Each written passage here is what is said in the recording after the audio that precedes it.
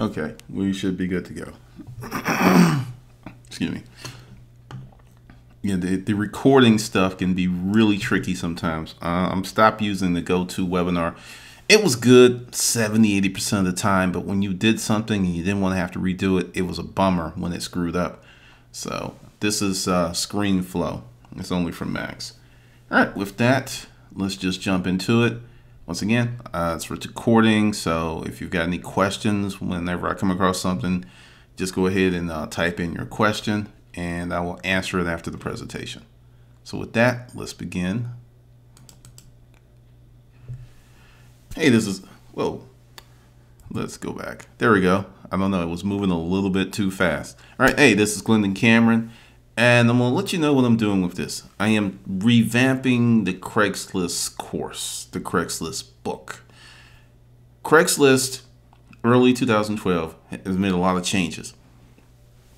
And I will admit, it kind of threw me in the beginning because I was used to just owning Craigslist. But I sat back and I came up with a plan, and I've put that plan into play, and I've gotten some great results. So this is what uh, these results have come to. So I'm going to share that with you. It's going to be a new audiobook at some point. I'm not giving a date because all the projects that are going on. Uh, it'll also be an ebook and it'll also be a workshop because I think that they've done everything that they can. Some of the changes have been great. Some of the changes have been maddening. But this is the beauty of Craigslist. It is totally saturated. Now I'm going to tell you about my Craigslist story. I found Craigslist some point in 2000, I believe. I was still in commercial office furniture, and there was something I can't remember. Were we looking for like some installers or something? But I just happened upon Craigslist, and I fell in love with it. Totally, totally, totally fell in love with it. I was just going through the free section, and excuse me, and the free section was nothing like it is now. I mean, it would be maybe a month full of stuff on one page. It was crazy. It was crazy. Uh, I got my first Gmail account off of Craigslist. If you remember when Gmail came out, you just couldn't sign up. You had to get an invite from someone who was a beta user. I bought and sold cars on Craigslist. I found my first warehouse on Craigslist, actually the second one since it was from the uh, same landlord.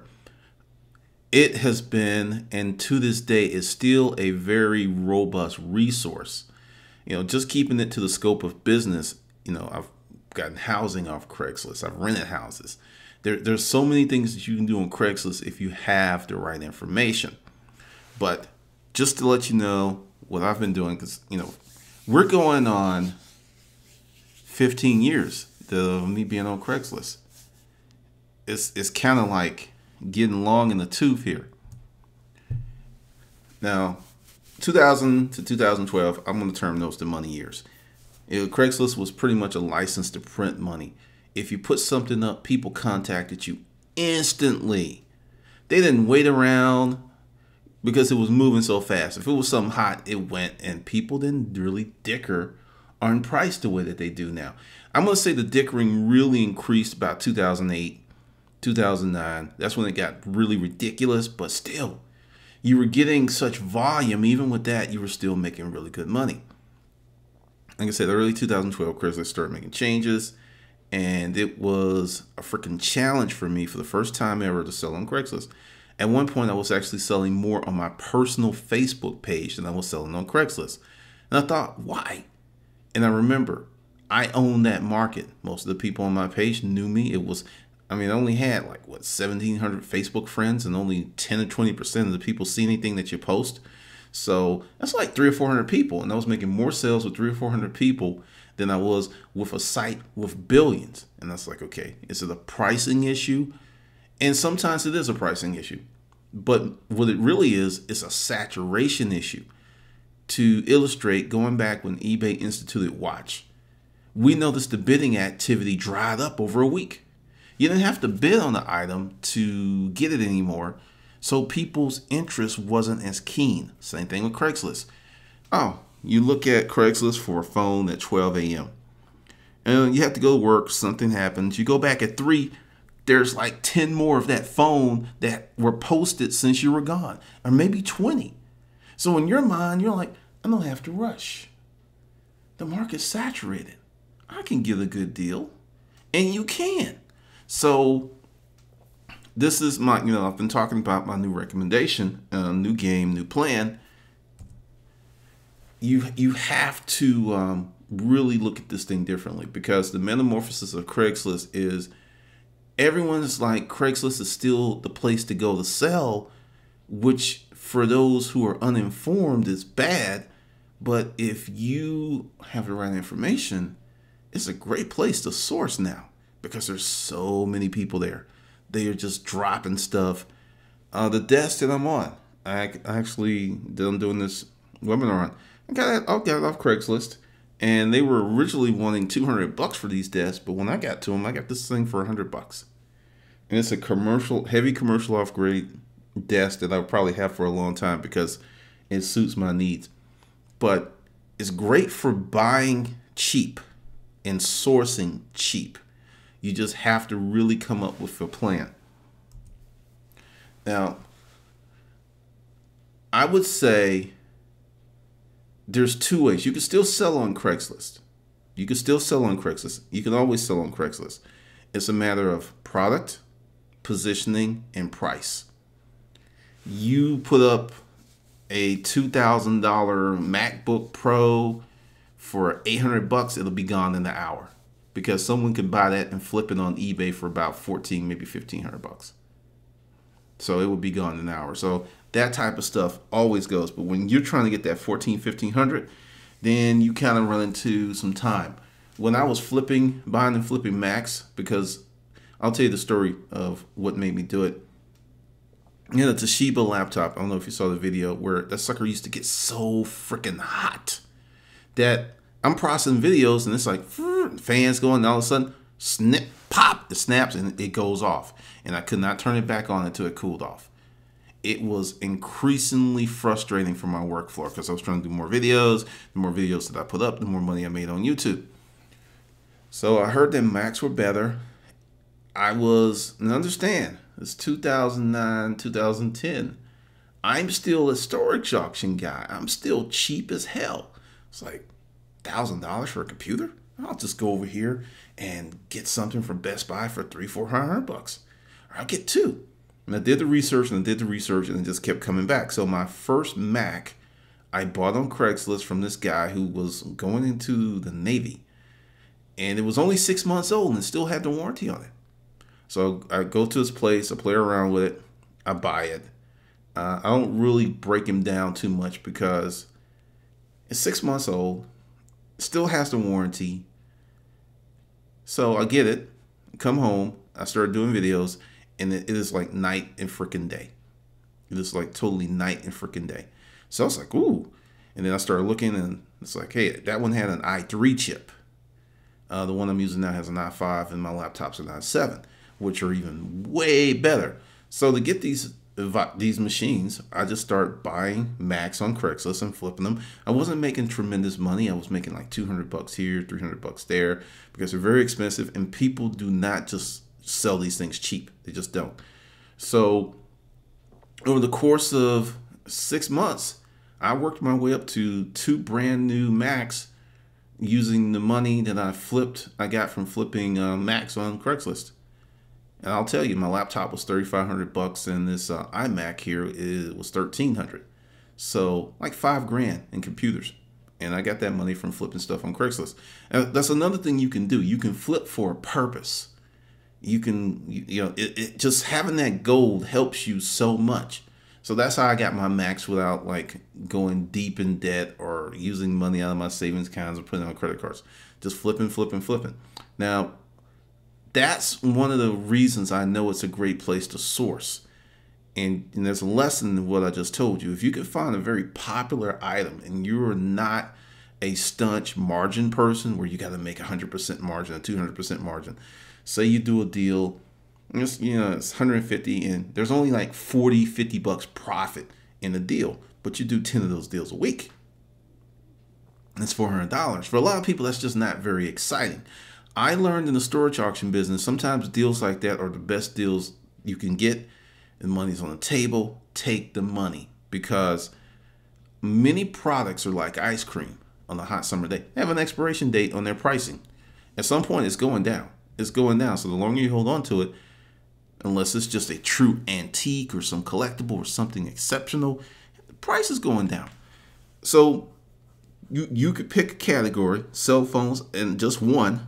You can do iPhones, you can do Androids, and if you can make, you know, not travel too far because you have to factor in your gas and meeting people.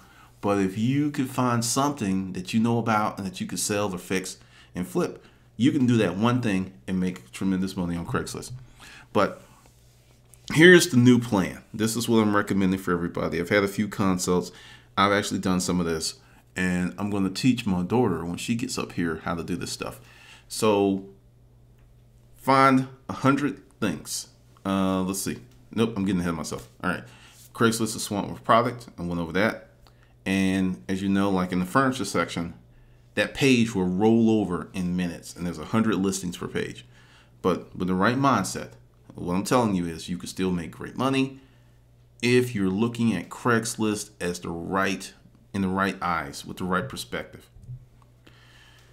Now I'm going to give you some ratios. In the olden days, 2011, I'm not going to count 2012. 2012 was still selling, but I started hitting, running into problems. Uh, if you knew what you're doing, I mean, I had stuff that I bought in storage units, took a picture of it, put it on Craigslist. It was sold before I got home. Good days. And uh, typically, I was listing 80% of the stuff that we got out of storage units and other places. And probably sourcing maybe 20% of our products from Craigslist during those lean times. But everything's, you know, we're going to do a 180. Um, there, something else just to say. There's more places to sell now than there used to be. It was eBay, Yahoo Auctions, a few other sites, but eBay and Yahoo were the leaders. There was some other stuff. And then whatever you could put up together in a warehouse, it wasn't only selling, you know, like eBay, Etsy, Amazon was, you know, you could have, you know, Amazon was still kind of new to the resale stuff. But you have eBay, Etsy, Amazon, Facebook, YouTube, back on Craigslist, Craigslist, yoursite.com. So sourcing from Craigslist, you have many different places to put your stuff. It is no longer what it used to be. Just a few predominant places like eBay and Amazon have the most traffic, but I want you to think about this, ponder this. You have an Etsy account and you sell, let's just say, beaded bracelets, and you make them yourself. But it costs you two bucks to sell them. I mean, two bucks to make the beaded bracelets because you're you're making them in bulk, and you sell them for fifteen bucks with free shipping. You're like nine bucks profit, seven seven fifty to eight fifty profit and you're selling these suckers like a hundred a week. You know, you, there's things that sell like that. There, there's a, there's things like that. But the thing is, you have to figure out what it is for you. Now, as a staunch hustler, you got to have a money plan. You got to have a plan of attack. Going back to what I was telling you about how I got my Mac computers, there was a plan. I wasn't just, you know, what I was talking, I, just, I just wasn't being an opportunistic hustler. I was just like, oh, I'm gonna get this, get a little money, maybe make two, three hundred bucks, go out and have a nice steak dinner. That's cool on occasion. That's fun on occasion, and I encourage you to do that on occasion. But your main deal is making money for a reason, not just money to blow. So this is the thing. I want you to think of 100 items that you like to sell. It could be clothing, it could be gerbils, it could be uh, running sheepdog. I mean, I'm, being facetious, but 100 items that you like to sell. And the reason that you need so many, things come in seasons. If you have 100 items, small items, games, coins, uh, computer stuff, Macs, whatever, you've got 100 items. Once you get these this list together and you start, you know, I'm going to show you later on in this webinar, learn how to do the automated searches on Craigslist, you will have more options for money because this is what kills people. Everyone is trying to play it safe. And playing it safe is limited exposure. I'm not going to put too much money out. I'm not going to work too hard. If what I'm doing works, I'll work harder on it. And that is a misnomer. Your habits define you. If you're not used to working hard all the time, you're not going to work hard all the time. If you're always trying to get over or try to, quote, work smart, not hard, that quote is misused because sometimes working hard is working smart. They didn't build Google by slacking off. There was an incredible amount of effort in building Google, building Apple, building Dell, actually building Ford Motor companies. But I mean, you don't build these companies and these incredible sources of income just not working hard. It's not going to happen. And a lot of people get sucked into that paradigm of I'm not going to work that hard because I'm going to work smart and actually don't have the results they could if they actually worked hard. So this is going to be overwhelming. It's going to take you a few weeks but this is the beauty. Even before you get to your 100 items, you'll start finding stuff. And say you got 100 items that you're looking for. Every week, you're going to find 10, 20, 30. You're going to find stuff to sell. You cannot make money if you don't have stuff to sell. So, with this method, and this is catered to you, there everyone has their thing. You know, you might know a lot about Levi jeans. You may know a lot about Nikes. You may know a lot about um, baby clothes. There's so many categories that you can make money on if you put it in the container of a plan and have the framework and methodology of a plan of action. There are at least six baby clothes consignment stores in my neighborhood. They wouldn't be open if people weren't buying baby clothes. They take them there, they buy clothes. So understand, there's a lot of things you can make money. And this is the big thing. And this is the promise of the disruptive economy. Instead of uh, being mad, you can use it. Now, this is brand new. You could just go in there and create a notification. What it will do is search Craigslist for you. Now, it says it's beta, and but it's 100% free for those of you who don't want to spend any money. Just you know, try it out. It's pretty cool. Like I said, look at the number until the notifications created. Not a lot of people are using this.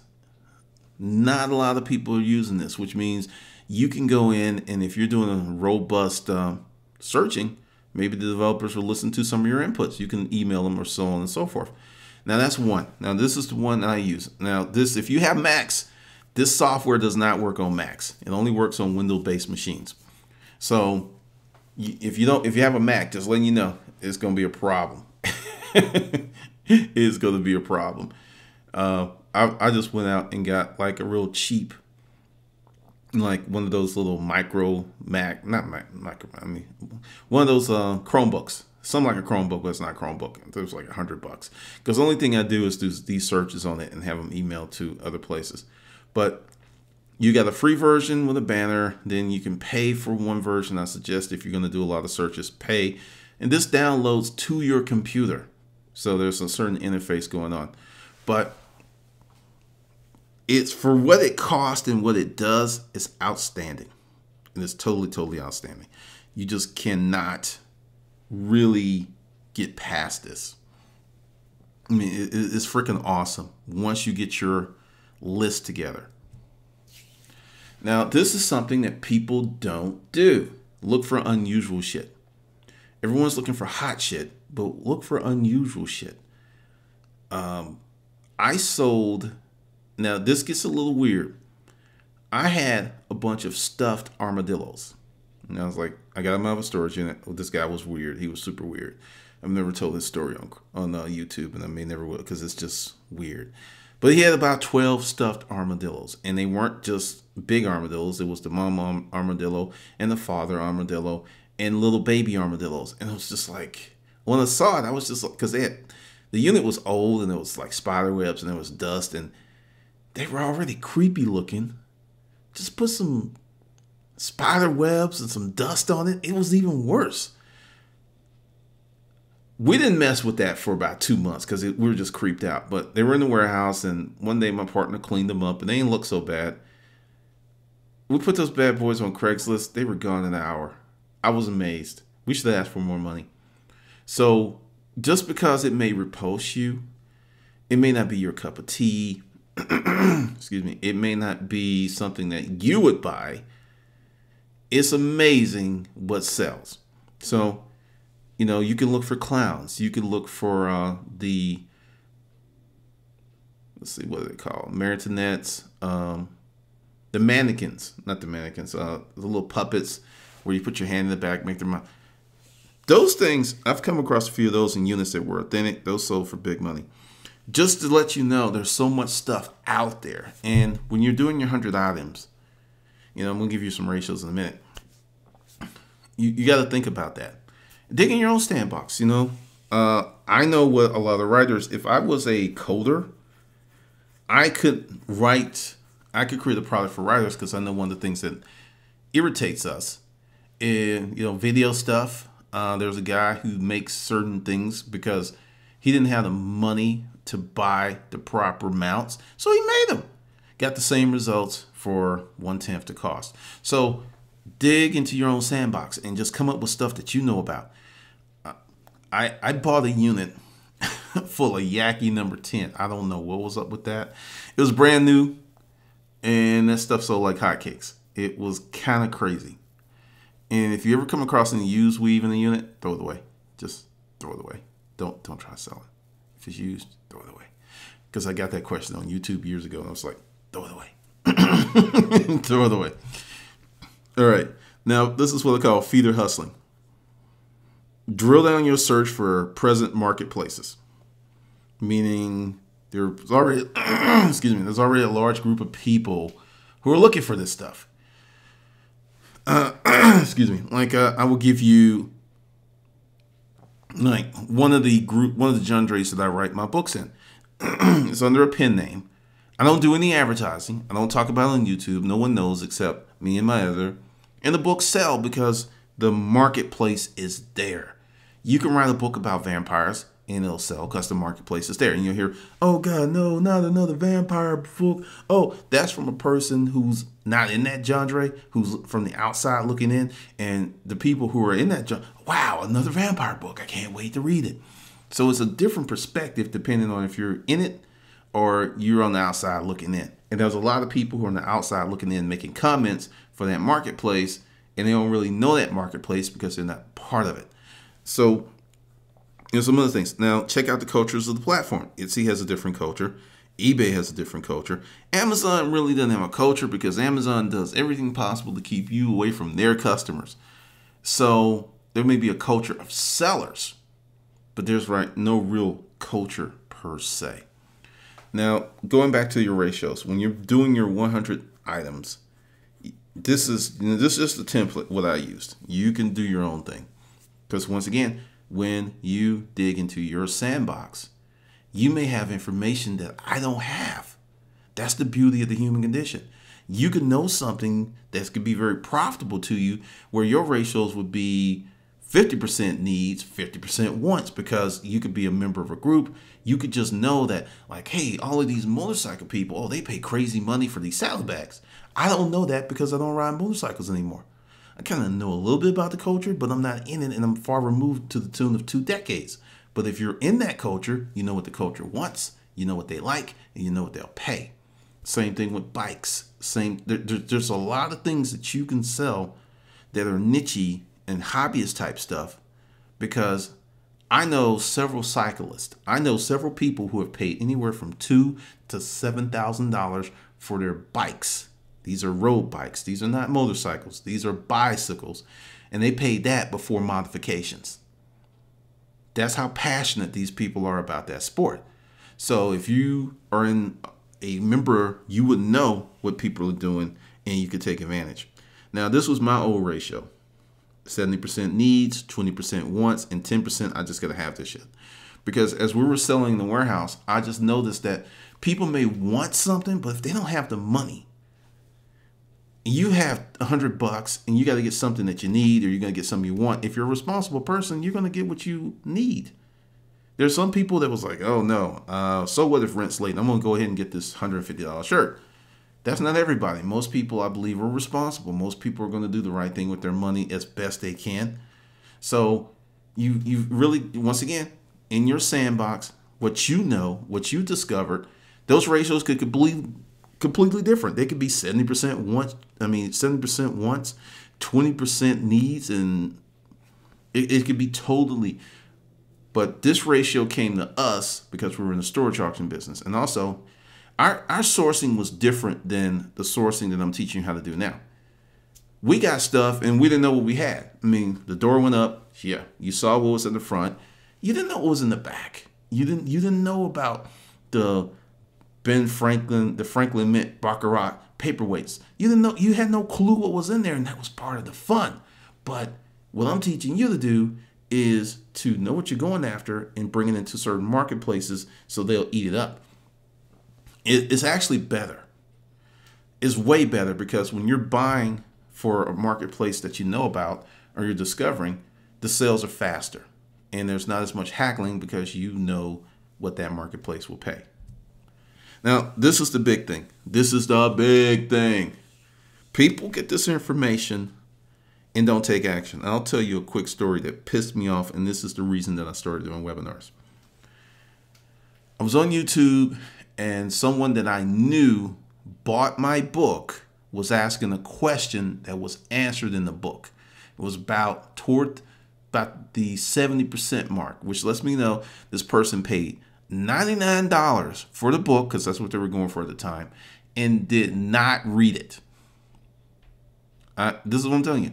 People do this all the time. They will buy information, sign up for courses, and will not take action. If you don't take action, it, it, it's just not going to be good for you. It's just not going to work out for you. There's a little bitch that was a member of the group who came in. He was one of the founders, didn't take action. This guy damn near went bankrupt he had to move to a cheaper place. He had all type of nasty financial issues, and I found out because we know several of the people. And if he had just, when he came in, took the information and went to work, went to freaking work, some of those bad things wouldn't have happened. So, I, if I can't impress anything else on you, the stuff I just gave you, if you do it, you will get results, and results will equal to money. If you do it. If you do some of it, you'll get some results. If you have to it, you'll get half. But if you go out and take the time to develop a list of 100 things that you can sell, do your marketplace research, go out and get the stuff, as they say in the hood, for the low low. Get it cheap, feed it into these marketplaces. You will make money. I guarantee you you cannot help but make money. You will start making money before you get to the 100 items. And I already know some people like they'll get to 30 or 40 and they start making money. I'm good. They'll stop because they're making money. So if you get to that full 100 things and rock out the automatic searches and you know you're doing a lot, you're going to need the cubics, you will make money. You will make money. Now, we'll give some exceptions. If you're out there in prairie land and you don't have access to Craigslist, you're going to have to do something different. And we'll talk about that in future webinars because everyone doesn't live in a major metropolitan city like I do, and I know that. But a good 60% of the country does or lives close to one, maybe 70%. So uh, there's a guy in the ScanPower, the Amazon FBA group. This guy lives out in the middle of the woods. You know what he does? He goes to major cities with his money. He has a travel kit. He has his scanner he has his printer. He goes out, spends the weekend in town, loads up, ships the stuff from where he is, doesn't take it back home with him, and he goes back home. So what I'm saying to you is if you're a little far out, you're gonna have to travel. That's it. And the guy, you you gotta understand, you know, where we're heading as a country, as a world, jobs are disappearing as we know them because of automation. So I'm not trying to scare you. I'm trying to give you the truth here. In five years, a lot of what you see that's going on with people being hurt, having issues, it's going to be worse because we're in a very strange place that you can have a degree or two or three and still be making minimum wage or less because the skill sets that you have are not marketable to this new and disruptive marketplace. Now, with you being an entrepreneur, you being a hustler, that's a totally different ball game because you're creating your own world. So I urge you to take action. I urge you to take action today. I urge you to start working on this today. And you you'll be amazed. You'll be amazed at what you can do in the next 90 days. All right? I'm going to open up the floor to questions. And yes, this is being recorded. All right, here's Isaiah. What do you got? What do you got going on? I'll answer it, but I don't have anything to do with Craigslist. How much money should someone put up for retirement? Okay. Typically, if you're making, I'm just going to throw these numbers out because what my guy told me.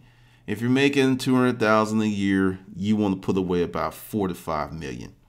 So, 10 times your income. And this is why. You get 10, 10 times your income and you're going to bite off 5 or 6% every year. Hopefully, if you're getting a decent interest rate, your principal, which will be the money that's in the fund, will stay there and you'll be living strictly off interest. So, as long as your investments are working, you're good to go. Now, I'm going to tell you my retirement plan. I'm going to tell you two events. 2006, I liquidated 1.2 million out of my portfolio, which was everything in it. I had some huge bills. I had a business deal, the stuff with my former partner, not my uh, not Francine, but another deal and another business and an SBA loan. That shit I got into a crazy amount of debt in nine months. The business lasted six. And between some stuff that went on with my divorce and everything, I was in the tune of massive debt, like seven figure debt. But I, you know, I was just like, well, I got money in here. So I liquidated everything and paid it all off. So 2006, I had to start all over again. But I wasn't worried because the storage auction business was great and I was putting away a lot of money. Now, this is my retirement plan because, and I'm going to give it to you why I'm going in this direction. We saw the meltdown of the markets these last few years. So you could do the right thing. Let's take the people who put their money with Madoff. There were people, Kyra Sedgwick and uh, Kevin Bacon, I think they're married if you didn't know. They lost to the tune like 20 million bucks. Gone. Never going to get it back again. Gone. 20 mil. There's going to be more of that in the future. You think you're going to be putting your money in the right place and something bad's going to happen. It happened with Madoff. It even happened with supportably reputable firms. So here you are saving money, putting it away, doing what you're supposed to, and something happens. That kind of scared me. So I'm thinking, let's create perpetual income. That's my thing. Create a business like, you know, Isaiah, you're a young guy. You create a business now and say it takes 20 years to grow. But in that 20 year, it's spinning off $150,000 a year for you, and you don't have to be there because it's big enough that you've hired people, they're running it. You can be in Switzerland on the Alps, and your business is still making you 150. That's my new retirement plan. Creating perpetual sources of income versus trying to work extremely hard to put all this money away, but you're you're you are withholding joy out of your life. You're sacrificing. You're not buying nice stuff for yourself, and you're putting away and putting away, and it may not be there. And this is the other side. Say you do all of that, and nothing bad happens to your money. You put it in a good company, Hancock or something like that, USA. Nothing happens. But by the time you're 67, 68, you're so broken down that you can't enjoy the money. I I like to say that I'm halfway retired right now because I have a tremendous amount of freedom that most people don't have. So I can come and do what I want. Uh, I can work, you know, actually, a lot of y'all don't know it. I was actually visiting a friend and was doing webinars. I have that kind of lifestyle, which is way more appealing to me. So, you know, you've got to sit down with yourself and say, what do you want to do? Because I'm giving you my plan. I don't plan on, I'm like I said, I'm halfway retired. Like if I wanted to go to Hawaii next week, I could, and I could still work, and I could still enjoy myself. So I'm halfway there, but I enjoy what I do. If you're going to play the traditional game, you've got to play it untraditionally. Uh, I'll give you another thing, and this is a reason I was able to get to 1.2 million. I used to live on 50% of my income and invest half, but it was a high income. So you got to start thinking like that. Because if you do normal stuff, because you know a lot of people won't tell you, everyone should be saving around thirty percent of their income, and that's for most people is just untenable because thirty percent of your income goes for taxes. If you have a job, then you're saving thirty percent. You're gonna live on thirty percent. So you need to be making six figures to make that work for most people, or you need to be really, really disciplined. But that's the thing, because like the typical thing, ten times your highest annual income, but there's so many bad things that's going on. I mean, the city of Detroit bankrupt. The city, and what makes that such a nascent event is in the 50s, Detroit was the number two had the number two highest GPA behind the United States. The city of Detroit was number two in G. Yes, that's what makes that so sad. So understand, it is better in my opinion. I'm just giving you my opinion because my uh, financial guy thought I was nuts. Um, I'm working on several businesses, ideals, um, starting one for my daughter, and that's the plan because I think if you do it right, you know, with you being your age, if you work it right for the next four or five years, you can get to a position where I'm at, where no, you're not retired, but you control your time because that is the key being able to control your time. Because when someone else is controlling your time, you have to go to a job. Uh, I met someone who had to move because company said, We need you to go to Atlanta. He didn't want to move, but he knew he couldn't get another job. So he moved. So you think about that. Like there, there's a lot of stuff that goes on. So, you know, that's my long answer to your question. Yeah, I'm not going to give you traditional advice because I don't uh, live a traditional life. And like I said, you know, go talk to a financial analyst and, you know, make, because it's your life and make your own decision. I'm doing what I think is best for me and my family, just based on the fact of what the hell I've been through and knowing how you can have a lot of money. Because I'll tell you, I have assets, but I don't have a lot of money. A lot of stuff I got from, you know, there's some things from the storage auction business I kept because I knew that you know they're, they're not you know they're not going down in value. So that's kind of like my extra next egg, and I make pretty good every month.